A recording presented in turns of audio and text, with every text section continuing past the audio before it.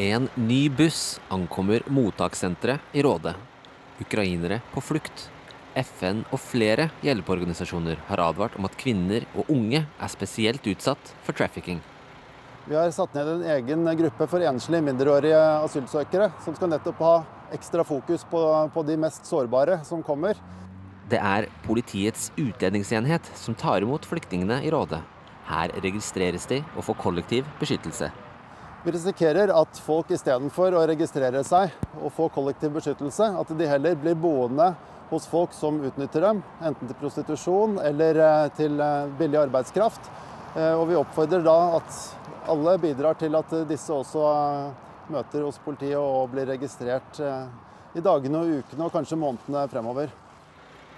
Flyktninger som har kommet til Norge og ikke fått registrert seg, kan være spesielt utsatt. Vi er bekymret for flere ting. Folk kan sette seg i gjeld. Folk kan altså havne i prostitusjon, i avhengighetsforhold.